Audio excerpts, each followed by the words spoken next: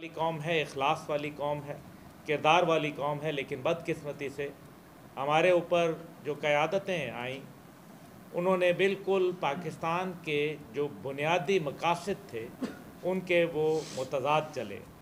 जिसके नतीजे के अंदर उन्होंने कौम को तकसीम दर तकसीम का शिकार किया, जो अल्लाह ताला के यहाँ नापसंदीदगी का बदतरीन इजहार किया गया कि कौम को तकसीम करने वाला जो है, उसको पसंद नहीं किया गया। इसी तरीके से ममलकत खुदादाद पाकिस्तान बनाना एक ख़त् ज़मीन का हसूल नहीं था, बल्कि एक नए निज़ाम का जो है वो तजुर्बगाह बनाना था। और वो निज़ाम कुरान और सुन्नत के निज़ाम के अलावा नहीं। और आपने आइनी तौर पर उसको कबूल भी किया हुआ है।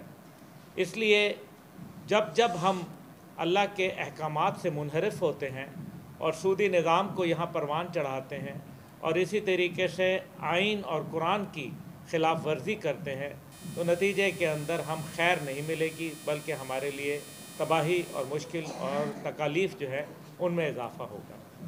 जैसा कि आप जानते हैं कि पाकिस्तान में खेत खलियान और अल्हम्दुलिल्लाह एक ख़ूबसूरत लोग मेहनत कश जफाकश लोग मौजूद हैं। उसके बावजूद पाकिस्तान के अंदर लोग सतह गुर्बत से नीचे रह रहे हैं। उसकी बुनियादी वजह यह है कि हमारे यहाँ बेशक के करप्शन है, लेकिन हमारे यहाँ सबसे बड़ा मसला इंसाफ, अदल और एक बेहतर अदालती निज़ाम की अशद ज़रूरत है।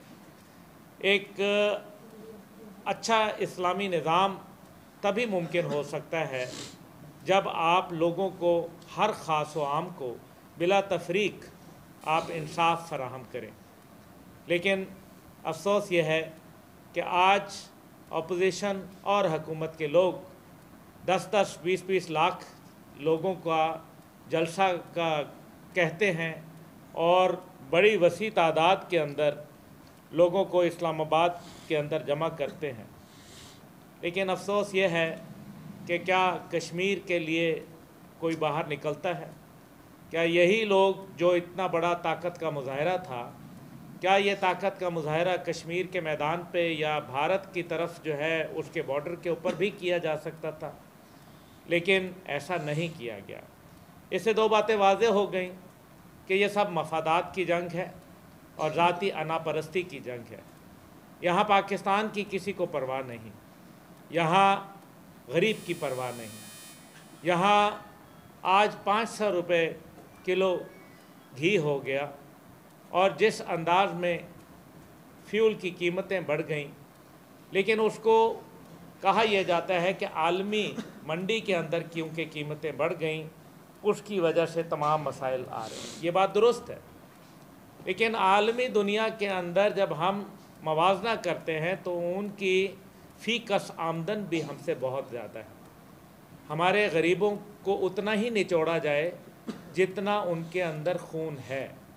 एक हद से आगे ये गरीब जो है फिर तंग आमद, भजंग आमद के ऊपर आ जाएगा।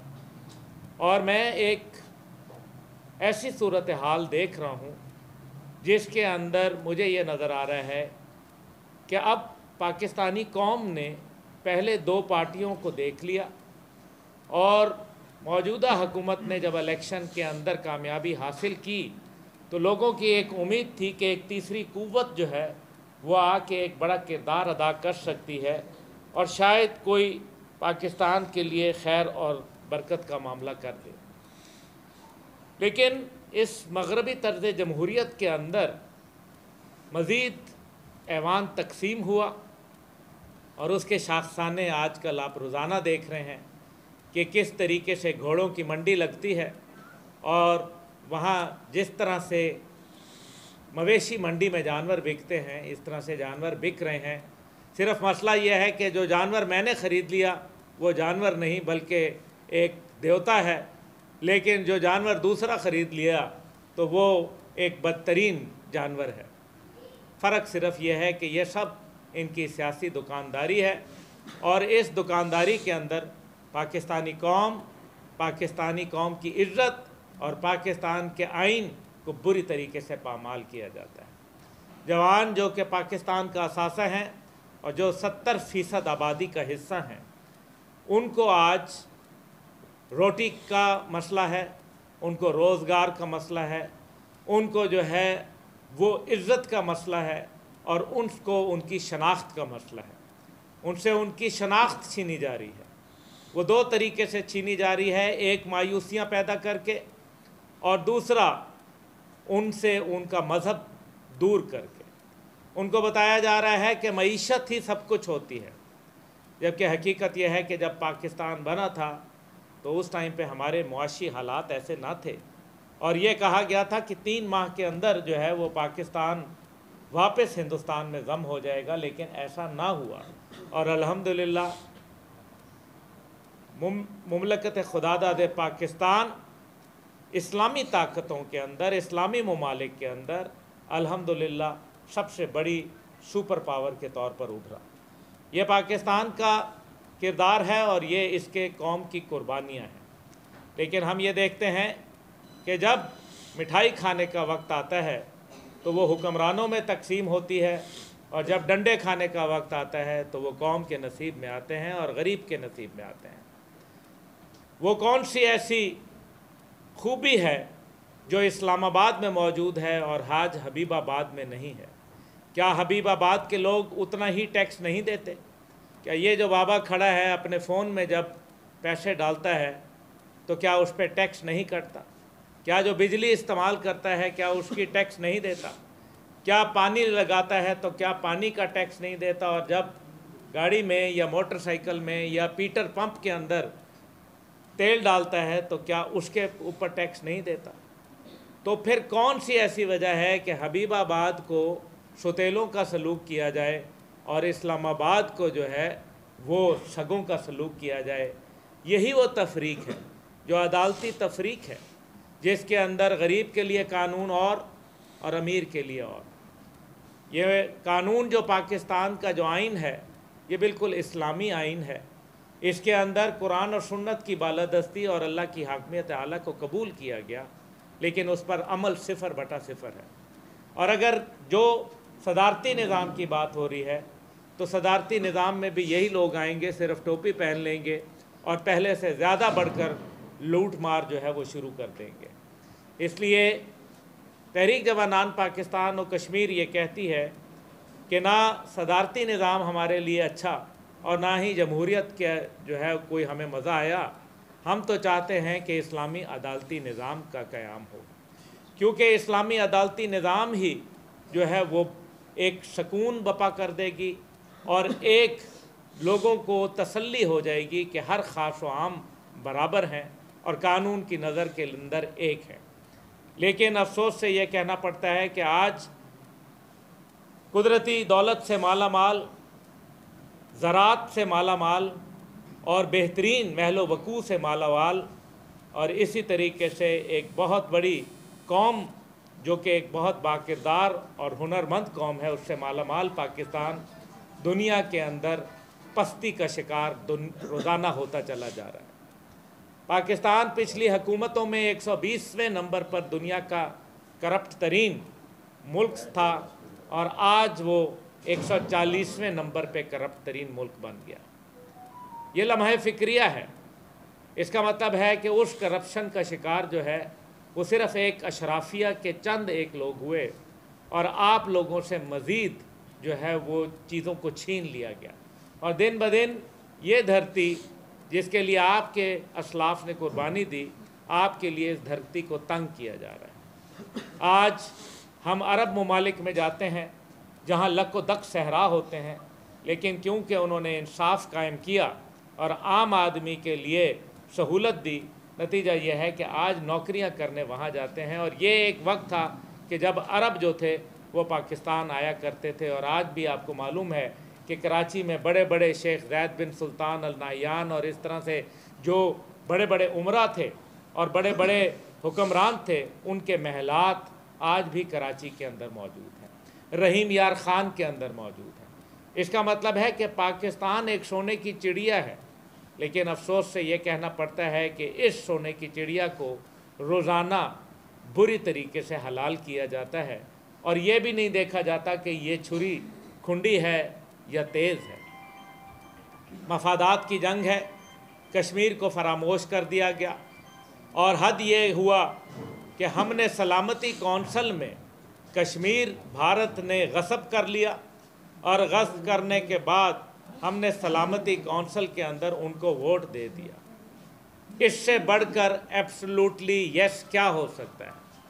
परवेज़ मुशर्रफ का 2001 का माहदा जिसको 2021 के अंदर अफ़गानिस्तान में तालिबान की फतह के बाद फ़ज़ाई और ज़मीनी हदूद इस्तेमाल करने की इजाज़त दी गई। पाकिस्तान की मौजूदा हुकूमत ने यह एब्सोल्युटली यस था या एब्सोल्युटली नॉट था। गैस की किल्लत पैदा हो गई और पूरे मुल्क के अंदर साढ़े तीन सौ फ़ीसद गैस महँगी हो गई, लेकिन ईरान के साथ जो पाइपलाइन हमारी बिछी है, उसको हमारे और इस हकूमत ने और माजी की हकूमतों ने फरामोश कर दिया, क्योंकि मगरब का दबाव है, ये एब्सोल्युटली यस है या नो है। पूरी कौम सरापा एहतजाज होती है कि मगरब जो है वो तोहन रसालत का मरतकब होता है। लेकिन हम मगरब के ज़माने सामने लब कुशाई नहीं करते और अपने ही लोगों के ऊपर फतह करने के लिए निकल खड़े होते हैं। ये एब्सोल्युटली यस था या एब्सोल्युटली नो था। इसी तरीके से डॉक्टर राफिया सदीकी के हवाले से अगर बात की जाए तो उसको वादा करके, जो वादा मुकरे और आज कौम को ये बताया जा रहा है कि यू टर्न बहुत अच्छी चीज़ होती है। अगर यू टर्न बहुत अच्छा होता तो मैं अपने सहाफ़ी बरदरी से सवाल करूँगा कि अल्लाह ताला ने कितनी दफ़ा नाउज़ुबिल्ला यू टर्न लिया? क्या कुरान में कोई यू टर्न मौजूद है?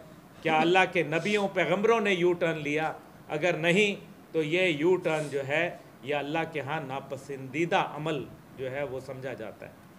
इसलिए आज कौम को तकसीम नहीं, बल्कि इतिहाद की ज़रूरत है। तहरीक जवानान पाकिस्तान का मंशूर है कि हिफाजत, कफालत और अदालत, ये तीन चीज़ें कौम को देना हमारी अमानत है। और इसी तरीके से हम चाहते हैं कि कौम मुतहद हो मुनज़म हो, मतहरक हो, और एक मजाहमियत करे पाकिस्तान के दुश्मनों की। और मुतहद ही होंगे क्योंकि वातासिम बेहबल्ला जमी वाला तफर्रकू, हमें तफरक़े के अंदर नहीं पड़ना और अल्लाह की रस्सी को मजबूती से थामना है। मेरी नज़र में आज की मौजूदा सूरत हाल के अंदर निज़ाम डूब रहा है, हकूमत नहीं डूब रही। हकूमतें आती जाती रहती हैं, लेकिन आज ये वाज हो गया कि इस निज़ाम के अंदर तमाम तकालीफ मौजूद हैं। ये निज़ाम बुराई को जन्म देता है और ये गरीब को गरीब तर और अमीर को अमीर तर करता है। ताकतवर को मज़ीद ताकत देता है और कमज़ोर को बिल्कुल लिटा के रख देता है। इसीलिए इस वक्त तहरीक जवानान पाकिस्तान ये नारा लेके आई है कि चेहरे नहीं, निज़ाम बदलो। क्योंकि चेहरे पिछली हकूमत ने, मौजूदा हकूमत ने बदल के देख लिए। और आज मैं ये समझता हूँ कि आज जो लोग वो लोग जिन्होंने पाकिस्तान के साथ खेला उनके एहतसाब ना हुआ।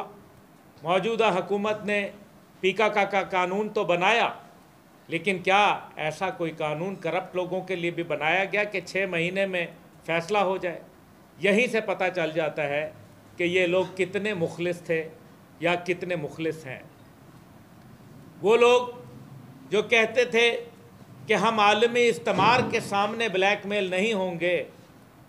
वो एक छोटी सी पार्टी के, छोटे से लोगों के सामने ब्लैकमेल हो जाते हैं। बाकी बातें तो छोड़ ही दे। इसलिए यहाँ हम किसी की शख्सियत के ऊपर तनकीद नहीं करना चाहते। हमें सियासत करनी है अपनी अच्छाई से, अपनी खूबी से। हमारा मंशूर यह है कि तमाम रिश्ते तोड़कर कुरान से रिश्ता जोड़ो। जो तफरकाबाजी को पसंद नहीं करता, ममानियत करता है इतिहाद पैदा करता है। मंजिल सिर्फ़ इस्लामाबाद ना हो, बल्कि इस्लाम हो। इस्लामाबाद इस्लाम के नफूज के लिए एक सीढ़ी है और वो इन ताला उस तरफ़ जाना हमारा मकसद है। इसी तरीके से पहचान जो है वो हमारी सब हिलाली परचम है। पाकिस्तान हमारी पहचान।